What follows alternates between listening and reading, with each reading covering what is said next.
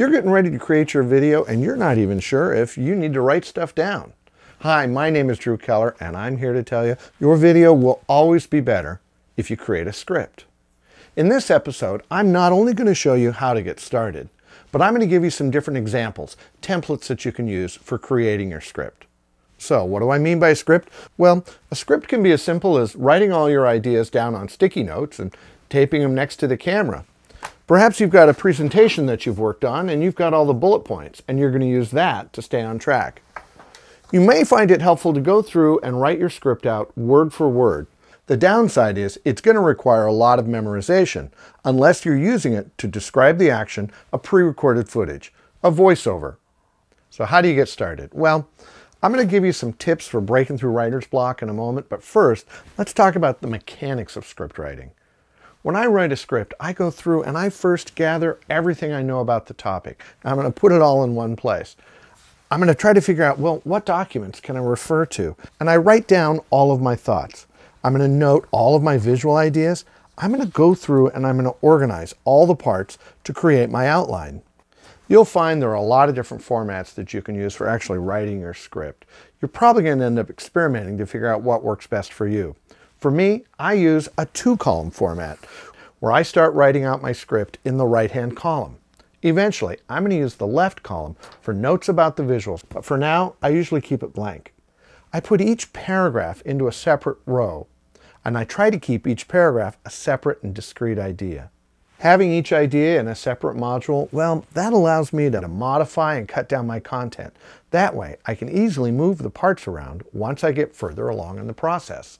Once I have the dialogue cut down to its essence, I'm going to begin to fill in the visual descriptions in the left-hand side with things like building exteriors and graphics. For many of my videos, I script out every word. Here's an example from a video I made about shooting with small cameras. When shooting with the flip, it's best to remember this mantra, embrace the limitations. You want to zoom? Forget about it. Walk closer to your subject. Zoom with your feet. But don't get too close. The camera's macro function is non-existent. If you're just getting started and you're having a hard time trying to figure out how all these shots fit together, well, this script might just be the ticket because it not only has columns for visual information and dialogue, it also has simple illustrations to help you pre-visualize your story. It's nothing more than simple clip art used to help you think about how you want to frame your shots. Here, I've created a document that I can use as a template with the table for the script already laid out and a gallery of shots that I can use at the bottom of the page.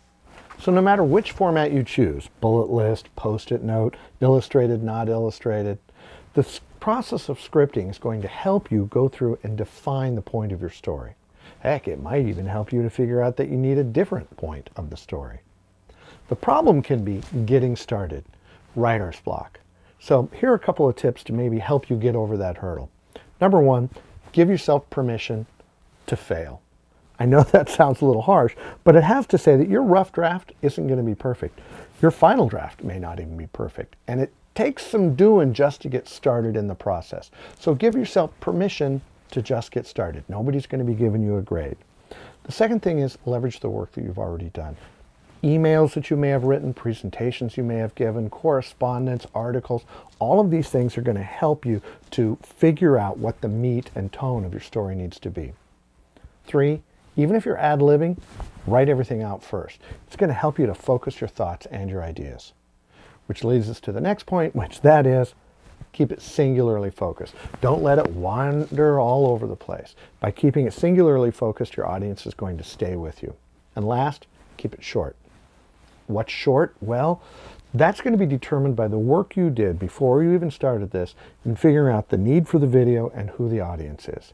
If you know those two things, you're going to have a really clear idea of whether it should be 30 seconds long, 5 minutes, or 20 minutes. You see, there really are no rules to this process, and only you can figure out what's going to work best for you.